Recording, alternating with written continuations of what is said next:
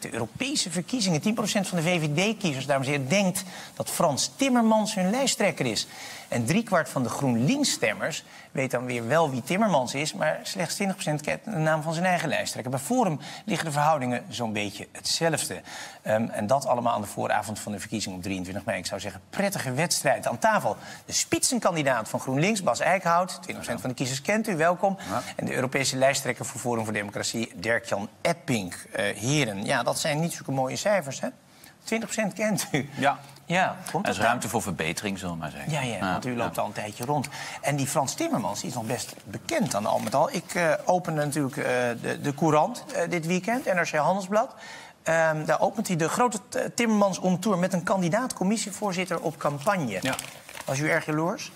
Nou, je denkt wel, god, dat hadden ze ook met mij kunnen doen. Ja, maar goed. Ja, uh, ja want u bent ook kandidaat spitsen. Ja, ik heb ook de tour door Europa gedaan. Dus uh, ja. dan, dan met de Groenen, dus niet met de Sociaaldemocraten. Maar uh, in principe hetzelfde idee dat je naar verschillende landen gaat en daar campagne voert voor de Europese verkiezingen. Ja, het is ook wel een mooie gemanipuleerde foto. In die zin dat er lijkt een enorme stoet ja. achter Timmermans door de, door de straten van Warschau te gaan. Maar als je dan de foto uit een andere hoek ziet, schijnt het een heel klein plukje te zijn. Maar van vooral wat innige medewerkers. Ik vind het toch een beetje een reclamespotje als je dat zo ziet. Kijk, die foto, en het lijkt net of er heel veel mensen zijn. Maar of die mensen daar in die landen uh, Frans Timmermans kennen, dat vraag ik me af. Ja. En zeker als ze denken dat uh, in, in, Nederland dat hij de leider is van de VVD. Nou, dat, uh, daar is nog werk aan de winkel, zou ik zeggen, voor hem. Ja, misschien verbaast u dat helemaal niet. Ja, maar hij, dat ze oh, verbaast me helemaal niet. Want uh, ja.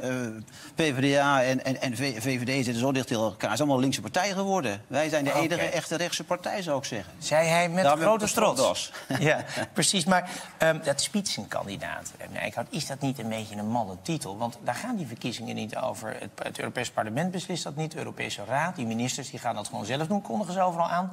Dus u houdt eigenlijk de kiezers een, een uh, rot voor ogen. Nee, niet helemaal. Ten eerste, spitsenkandidaat is gewoon lijsttrekker op zijn Duits. Ja. Alleen, uh, ja, blijkbaar hebben we de neiging om in Europese termen een Duitse term te gebruiken. Dus het is heel leuk. Spitsenkandidaat kom je in elk land tegen. Uh, nee, ik denk niet dat wij de, de kiezer een rat voor de ogen draaien. Want uiteindelijk kiest het parlement wel degelijk de voorzitter van, van de Europese Commissie. Dus de raad draagt voor. Mm. Ja, uh, zo staat het in het verdrag. De raad draagt voor het parlement kiest. Nou, ze hebben met Juncker dit experiment een keer gedaan. En er wordt ja. nu eigenlijk overal gezegd door die regeringsleiders... dat moeten we niet nog een keer doen. Nou, dat, dat en u bent bovendien, kijk, als u nou nee, maar even Timmermans was... of van de, of van de, van de christenen, de, de conservatieven was... dan had u misschien nog een kans gemaakt. Maar u bent wat? Vijfde partij in Europa. Ja, maar wat wel interessant wordt... voor de eerste keer in de geschiedenis ja. van het Europees parlement... Uh, zullen de sociaaldemocraten en de christendemocraten geen meerderheid meer halen. Ja. He, onder... Oh, dat weet u wel, voor de verkiezingen geweest? Nou ja, dat is zeer waarschijnlijk. Als je gewoon alle peilingen kijkt in alle landen... dan zie je dat die twee partijen zeer waarschijnlijk geen meerderheid meer gaan halen. En dat is volgens mij goed. Want als er één probleem was in Brussel, was het wel die meerderheid van die ja. grote coalitie. Ja. Dat zorgde echt wel voor een heel beperkt Europees debat. Daar werden baantjes onderling verdeeld. Ja, dat gaat ze niet meer lukken. En wat je nu zult gaan zien, is dat elke ja, kandidaat voor het voorzitterschap... die zal veel meer met een programma moeten komen. Die zal echt moeten gaan onderhandelen ja, ja. over het programma... wat wil ik met Europa? Nou ja, en dan zullen ze ook zeer waarschijnlijk de groenen nodig hebben. Nou ja, dan gaan maar wij natuurlijk onze groene eisen op tafel leggen. Onder een handelingsstrategie, hoeveel kans is er natuurlijk de nieuwe Jonker wordt? Nou ja, kijk, die kans is inderdaad niet groot. U bent natuurkundige, wel gewoon een percentage. Ik ben scheikundige. Oh, je bent scheikundige. Ja, maar ben je, ook, ben je ook een, een, een techneu, dus een Nou, kijk, een percentage zal onder de 10% zijn. Maar wat ja. wel vaak zo is, is als twee om een been, hè, twee honden om een been... Okay. zou ik wel eens de spreekwoordelijke derde hond kunnen zijn. Epping. Ja. Vindt u van het... Waarom bent u geen spitsenkandidaat? Nou, dat, uh, dat hebben we eigenlijk niet. Uh, nee. Wij zijn nog, ook uh, nog niet formeel lid van een, uh, van een nee. fractie. Dus dat kan het toch helemaal niet. Ik kan maar uw fractie waar erbij wel Ja, die heeft er wel een. Die heeft ja. er wel een. Maar daar zitten wij nog niet in. omdat een van de pro pro problemen is dat de ChristenUnie wil ons niet hebben. Die vinden ons te rechts. Ja. En uh, nou ja, goed, dan moet die fractie stemmen. Dan is het ofwel Forum of het is de ChristenUnie, een van de twee. En dat zullen we dan na de verkiezingen Dit hele zien. spel ontgaat kiezers, hè? Al die fracties en hoe dat dan werkt. Maar dat moet je eigenlijk wel bijhoren, want anders krijg je geen subsidie of zo. Nee, nou, nee, het is zo dat je in het Europees Parlement natuurlijk aan machtsvorming moet doen. Ja. En wij willen daar een echte oppositie op zetten. Zoals uh, uh, mijn tegenpol dat ook wil met de ja. Groenen. wij willen dat aan de rechterkant. En het wordt ook tijd, omdat de huidige oppositie daar is te klein. Niet goed georganiseerd. En we willen daar een oppositiekracht neerzetten. Want een, een, een parlement zonder oppositie, dat, dat is eigenlijk ja. geen parlement. En nu is er eigenlijk voor het eerst de kans dat er zo'n oppositie komt. Oké, okay, ik ga eens even een testje met u doen, heren. Um, vraag 1, stelling. Ja of nee? Steeds meer Europeanen zijn de oude politiek zat. Eens of oneens? Eens? Eens. Eens? Ja, ik ben het wel eens, ja. U Ja. bent het eens. Twee, een nexit is een goed idee. Oneens. Het is een goed idee. Nee, oneens of eens? Oh, het is een goed idee. Eh, het is eens. Eens. Oké, drie. Het slaat nergens op dat je voor een paar tientjes heen en weer kan vliegen van Eindhoven naar Marseille. Eens. Eens? Dat vind ik niet. Eh, Niet eens. U bent het niet eens. Nee. Ik vind dat, je, dat het een vrije markt is. Als mensen met een lager inkomen ook kunnen reizen, dan, dan gun ik hen dat. Hm. Kunnen ze vakantie maken, vakantie houden daar. En van de groene mag dat niet, van ons mag dat. Vrijheid voor de mensen. Een beetje. Oké, nee, maar ik, ik ga. Moet dan ga- even van de, nee, we gaan liberale school, van de liberale school zou je voor een eerlijke markt moeten zijn. Terwijl op dit moment betalen wij geen belastingen voor kerosine. We betalen geen btw op tickets. Dat is gewoon een hele oneerlijke concurrentie. Een beetje liberaal zou moeten zeggen dat moet eerlijker worden. Ja, nee, maar het is zo dat Ja, het vliegen... nee. Het, het, nou, nee, worden? bent toch niet de presentator, neem ik aan, of wel? Nee, maar ik mag ook het moet, vragen het, moet, het moet eerlijker worden, maar ik vind wel dat eh, mensen niet gedwongen moeten worden... om enorme kapitalen uit te trekken voor vliegreizen. Ik vind dat vliegen eh, eh, ook mogelijk moet zijn... een recht voor- een recht voor, Ja? voor iedereen, niet alleen voor spitsenkandidaten die door Europa Wij zijn gewoon- wat is uw wij ecologische... zijn voor een voor eerlijke- gesubsidieerde trein. begrijp ik. De- de- wij zijn voor een eerlijke beprijzing en de vervuiler betaalt. En dan zal vliegen inderdaad duurder worden. Maar als je dat investeert in de trein, dan krijg je een mooi alternatief. Ja, maar wat, Maar wat, heeft u u moet zichzelf gereisd, voor wat heeft uw als spitsenkandidaat dan gekost? U bent toch ook gaan vliegen, of niet? Ja, ik vlieg ook. Maar trein dit, ook. maar dit soort populisme doen bij Buitenhof niet over dat is hoeveel reiskosten hij heeft gemaakt. Dat vind ik nu echt... Nee, maar dat is nou... pff, dan moeten we dat gaan brengen. Heb ik nog geen zin. Dat doen we niet. Wat we wel gaan doen is even de eerste stelling, de eerste stelling terugpakken. Steeds meer Europeanen zijn de oude politiek zat. U was het daar beide mee eens. Een zinnetje uit uw eigen verkiezingsprogramma. Oké, en dat zegt iemand die al tien jaar in het parlement zit. U Mhm. Ja. bent de oude politiek. Ja, maar het betekent niet als je in de politiek zit... dat je ook meteen altijd vertegenwoordiger bent van de hele meerderheid. Wat ik net al zei, eh, in het Europees parlement en in Europa... heb je heel lang gezien dat christendemocraten en sociaaldemocraten... heel lang de meerderheid hebben gevormd. En die hebben eigenlijk ook het zuurstof uit het Europese debat weggehaald. En ik denk dat het heel belangrijk is dat we zien dat er nu meer mogelijkheden zijn. En eigenlijk zie je partijen opkomen in Europa die een ander verhaal willen. Dat is enerzijds de populisten, maar die zeggen... ja, wij willen heel Europa niet. Aan de andere kant zie je echt een opkomst in Europa van de Groenen. De Groene Beweging. Die zegt, Maar- ja, wij, willen is- Europa, ja. maar we willen het wel echt sociaal en wat, groener. wat is precies die oude politiek dan? De samenwerking tussen de, de socialisten en de christendemocraten. Wat is daar zo oude politiek aan? Ik denk wat er vooral oude politiek aan is, is het idee van Europa, interne markt en niet zo heel veel meer dan dat. En wat je vooral daarbij ziet, is dat het grote bedrijfsleven daar gigantisch van geprofiteerd heeft. Dat zullen we straks bij het debat over Moneyland terugzien. Het grote bedrijfsleven profiteert volop dat er een interne markt is gemaakt. Ja. Maar dat bijvoorbeeld belastingen, dat ze die allemaal nationaal hebben geregeld. Met als gevolg dat bedrijven relatief steeds minder belasting betalen. En dan kunnen overheden twee dingen doen. Of hun uitgaven minder maken. Dat is die hele bezuinigingsoperatie die we hebben gezien in Zuid-Europa. Of belastingen op consumptie. Nou ja, dat chagrijn, dat terechte chagrijn, dat moet aangepakt worden. Ja, ik denk en GroenLinks denkt dat moet je met een sterker Europa doen... om juist het bedrijfsleven Maar goed, aan u te gaat nu het hele verkiezingsprogramma voordragen. Ik dacht Nee, meer dat was- oude politiek meer een eh, culturele kwestie was... van hoe de baantjes werden verdeeld. Hoe, waar gaat de oude Ja, politiek dat is wat u de- betreft over? Eh, politiek gaat om macht. Het gaat altijd om macht. Eh, po- politiek eh, is niet alleen een kwestie van goede intenties. Het gaat om macht. En de macht was nu altijd in handen van enkele personen. En we willen dus dat dat parlement een echt parlement eh, wordt. En we ook dingen kunnen tegenhouden. De reden dat ik naar, naar Brussel wil gaan... is om die vloed van bevoegdheden naar Brussel... om dat tegen te houden. Mhm. Om daar aan de noodrem te gaan hangen zo helemaal. Met mijn volle gewicht. Dat moet al wat helpen. Kunt Als Frans, even- Timmer- als Frans Timmermans erbij komt hangen, dan, dan, dan staan we stil. Gaat hij niet doen, zo te zien. En, en daarom vind ik dat we, eh, dat we in de politiek eh, die machtsverhoudingen moeten veranderen. En het specifieke van deze verkiezing is dat dat nu voor de eerste keer eigenlijk kan. En zij is spitsenkandidaat, misschien wordt hij wel voorzitter van de commissie. dat was vroeger door de- ondenkbaar. Door de verdere versnippering van het landschap, ook op, op Europese schaal... Ja. krijg je dus zoveel kleine partijtjes dat ze alles kunnen blokkeren. Nou, je krijgt eh, grote groepen, denk ik, dus eh, fracties... die kunnen zeggen van we gaan onze stem, eh, stemverhoudingen die gaan Ja. we coördineren. Wat gebeurt nu helemaal niet. Niemand praat met niemand, iedereen stemt maar wat. En als je dat gaat doen, dan kun je op beslissende momenten zeggen van... nou, we houden dat tegen. Bijvoorbeeld als er iemand wordt voorgesteld als volgende voorzitter van de Europese Commissie... en het bevalt ons niet, kunnen wij zeggen we zijn daar tegen. Ja. Dat kan dus een conservatieve fractie doen, maar dat kan de groene fractie ook doen. We kunnen het zelfs samen doen. Dat, zou zou zo kunnen, dat zou zomaar kunnen Maar bij dat- een bepaalde kandidaat. Maar ik, wat ik wel interessant vind, u heeft het over... Hè, ik wil in het Europees parlement een oppositie voeren. Maar als ik uw verkiezingsprogramma lees, u wilt uit de euro. U wilt uit Schengen. U wilt uit de douane-Unie. U, u, wilt eigenlijk helemaal weg. Dus, dus u dus gaat alleen maar het Europees parlement in om iets op te blazen. Dan heb ik liever een partij die oppositie voert voor een beter en een ander Europa. Nou, dat is, de, dat is niet, uh, niet, uh, niet waar. Wat, is wat, wij, wat, wij willen, wat wij willen is uh, dat er uiteindelijk een referendum komt over het lidmaatschap bij de, van de Europese Unie. Maar in uw verkiezingsprogramma dat staat er, nee, dat staat uit Schengen, staat uit de douane-Unie, ja, uit de euro. Dat, dat, staat in het verkiezingsprogramma. Wij vinden dat, dat, die machten, dat die machten teruggaan, die bevoegdheden teruggaan naar de lidstaten.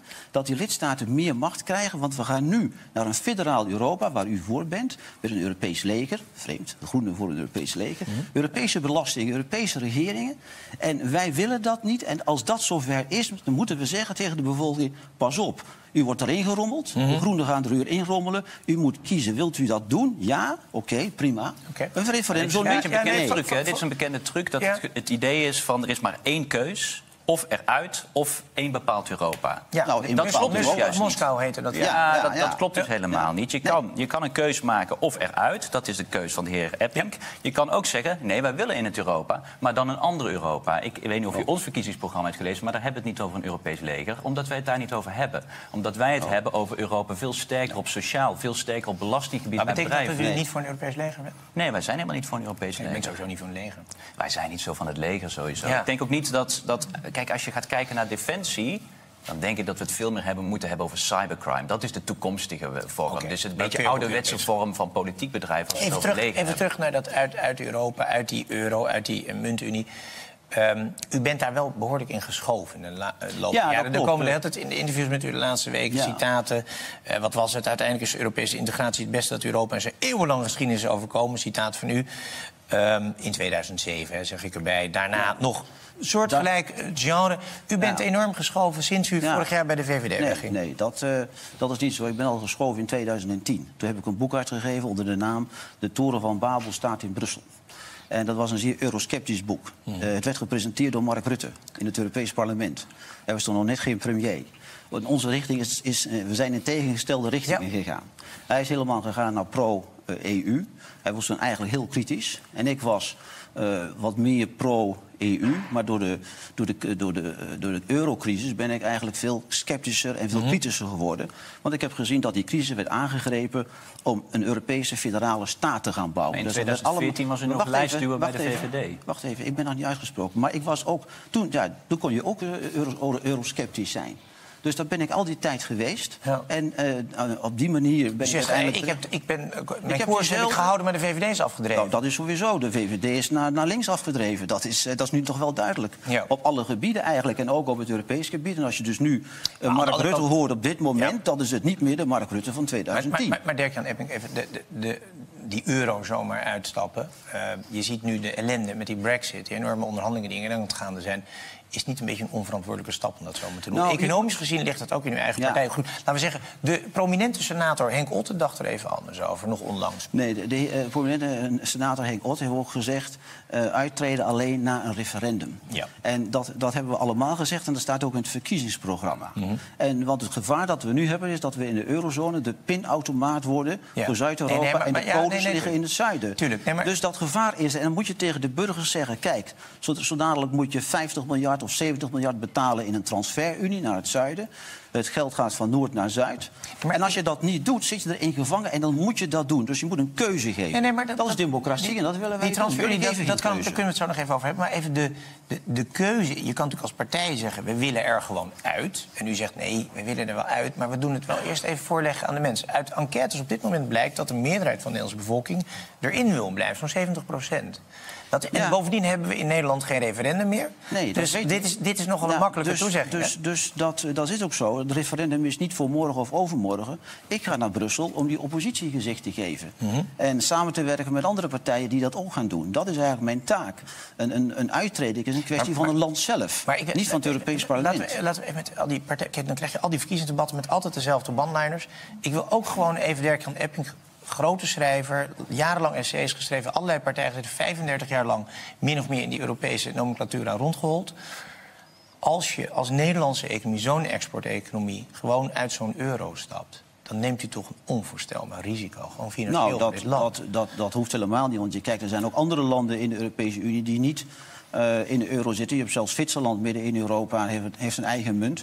Dat is een heel rijk land. Ja, maar ze hebben ook een dus deal met Europa. Hoe tevoren, zeg maar, je, je gaat een enorme crisis krijgen in die eurozone tussen Noord en Zuid. En dat is een kwestie van een paar jaar. En dan is de vraag, gaat u betalen of gaat u niet betalen? Nou, die vraag moet je aan de kiezer voorleggen. Okay. Als Eickhout. Hoe groot is het risico eigenlijk dat wij lopen in die eurozone, financieel? We staan garant in het ESM, in die structuurfonds. We staan garant eigenlijk indirect via de ECB, die alle schulden opgekocht heeft. Nou, volgens mij is het risico groter als wij... er zijn nog steeds een aantal zaken die we moeten oplossen. We hebben nog steeds bijvoorbeeld de banken. We zijn nog mm. steeds te groot. Dus als er weer een nieuwe crisis komt dan zullen we wederom zullen zien dat wij weer belastinggeld in het redden van banken moeten stoppen. Dat is een veel groter probleem. Dus in die zin, ook hè, als, als wij het hebben over die eurocrisis, die is nog niet opgelost. Mhm. Het idee dat soms vanuit Brussel wordt gecommuniceerd... Maar vindt u dan dat een Nederlandse belastingbetaler moet meewerken aan een uh, incompetente, halfcorrupte bank in Italië? Moeten wij daar mee betalen? Nee. Niet als je het wel moet. In nou, ja, dus als we het niet van tevoren nu goed regelen. Kijk, wat we zagen met nee, maar, nee, maar het is nu. Nee, maar, nee, maar wacht even. Wat het kwart van de Italiaanse schuld staat op de balans. Klopt. Maar het grootste probleem was dat wat je zag, was dat wij eigenlijk de zaken niet goed geregeld hadden toen de eurocrisis kwam. Toen is er een noodfonds uit de grond gestampt. Dat noodfonds dat ongelooflijk veel miljarden ingegaan, wat het veel duurder heeft gemaakt dan nodig was. Hmm. En wij hebben uiteindelijk heel veel oplossingen aan die Europese Centrale Bank overgelaten, omdat wij politiek niet hebben gedurfd stappen te nemen. De euro, de interne markt, daar profiteren we van. Er wordt heel veel van Noord-Europa naar Zuid-Europa getransporteerd. Daar wordt geld verdiend. Dat betekent dat je gezamenlijk in die economie zit. Kun je beter ervoor zorgen dat we die banken meer laten meebetalen dan dat we, dat we uit die euro stappen. Of je dit soort bedragen door de bank kan laten betalen, vraag me af. Epping? Ja, nee, ik denk dat uh, Nederland in de eurozone wordt gedwongen om mee te betalen. Je ziet dat president Macron al hele plannen heeft gemaakt om uh, fondsen op te richten, speciaal voor de eurozone. Gemeenschappelijke schulden maken en dat soort zaken. Uh, Nederland wordt een pinautomaat samen met Duitsland. En ze zullen zeggen, u moet betalen, alles of niks. En als je erin zit, zit je vast. En als je het in de grondwet gaat schrijven, lidmaatschap van de Europese Unie... dan ben je helemaal gezien, want dan heb je mhm. jezelf vastgeketend binnen die, binnen die eurozone. En dat wil ik eigenlijk, ik wil daar eerlijk in zijn. Ik zeg tegen de mensen, dat is een gevaarlijke zaak. Maar, dan, moet u, maar dan, we moeten ons niet laten zeggen, afschaffen. Nee, nee, maar dat is prima. Maar dan moet u toch niet zeggen, we gaan er referendum houden als het er al komt. Nee, we gaan er gewoon uit.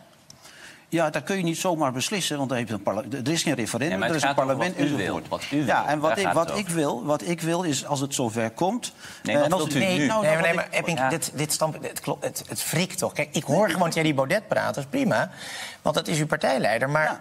Maar ik geef aan of je gaat erin of je gaat eruit. En u zegt we gaan er misschien uit als er een referendum komt... waarvan 70% van de Nederlanders niet voor gaat stemmen. Dat weet je niet. Dat, weet je. dat kan nog heel veel gebeuren. En welke en als campagne gaat u voeren? Als er nog, als er nog een, als het, uh, voert u uw eigen campagne nu maar. Ja, want ik zal want, kijk, als het dus moeilijk gaat, als het moeilijk wordt met die euro... en dan komt de crisis, er moet veel betaald worden... dan gaan mensen denken van, ja jongens, dat gaat ons veel hm. kosten. En dan gaat het om honderden miljarden. dat, zou Net zoveel als dat dure klimaatbeleid van hem. Dan krijgen we zo'n hele Griekse crisis all over. Maar u moet wel eerlijk zijn over de bedragen kan natuurlijk zeggen... ja, maar dat moeten de bankiers even oplossen. Die moeten het zelf gaan betalen. Dat is iets te makkelijk gezegd. Nee, maar wij zijn heel eerlijk... Gewone mensen gaan ook mee Nee, maar wat wij zeggen is dat wij inderdaad meer risico's moeten delen... binnen die eurozone. Daar zijn wij heel eerlijk over. Daar ga je alweer. Daar ga je alweer. Nee, maar wat wij gaan... De arme, de arme, je moet de arme landen betalen. het is wat je daarmee doet... Maar nou mag ik volgens mijn verhaal houden. Wat je daarmee doet, is ervoor zorgen dat je de risico's deelt... waardoor de kosten uiteindelijk van de crisis gedeeld worden... en veel minder groot zijn. Het wordt juist duur als we één op één deze crisis proberen neer te Jongens, wanneer komt die volgende crisis? dat zijn de miljarden. Ten slotte, wanneer komt die?